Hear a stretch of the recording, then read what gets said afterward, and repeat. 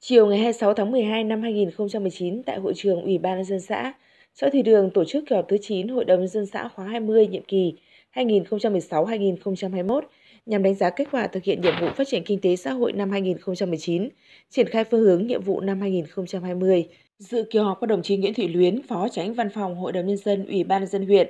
đại biểu Hội đồng nhân dân huyện nhiệm kỳ 2016-2021, lãnh đạo Đảng ủy, Hội đồng nhân dân, Ủy ban nhân dân, Ủy ban Mặt trận Tổ quốc Việt Nam xã,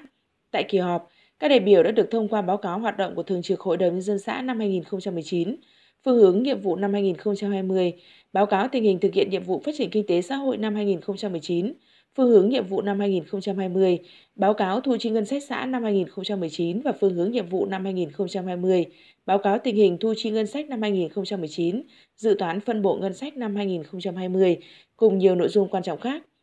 Theo các báo cáo trình tại kỳ họp năm 2019, Tình hình kinh tế xã hội của xã Thủy Đường phát triển khá toàn diện, xã tập trung cao phát triển sản xuất nông nghiệp và duy trì trên 33 hecta diện tích rau màu các loại. Chủ đề năm của huyện là tăng cường kỷ cương thu chi ngân sách nhà nước và giải phóng mặt bằng, cơ bản hoàn thành xây dựng nông thôn mới các xã được các cấp các ngành đoàn thể xã tập trung thực hiện. Công tác thu ngân sách nhà nước được quan tâm triển khai đồng bộ nhiều giải pháp. Tổng thu ngân sách nhà nước của xã đạt gần 99% kế hoạch. Xã tiếp tục hoàn thiện 16 tuyến đường giao thông nông thôn hoàn thiện hồ sơ đề nghị Ủy ban nhân dân huyện cấp 93 giấy chứng nhận quyền sử dụng đất, đạt trên 330% kế hoạch. Công tác chỉ đạo điều hành của chính quyền, công tác phối hợp giữa Ủy ban nhân dân với Ủy ban Mặt trận Tổ quốc và các đoàn thể có chiều hướng tích cực, an ninh chính trị, an toàn xã hội trên địa bàn được giữ vững, an sinh xã hội được đảm bảo, đời sống nhân dân được tiếp tục cải thiện và nâng cao.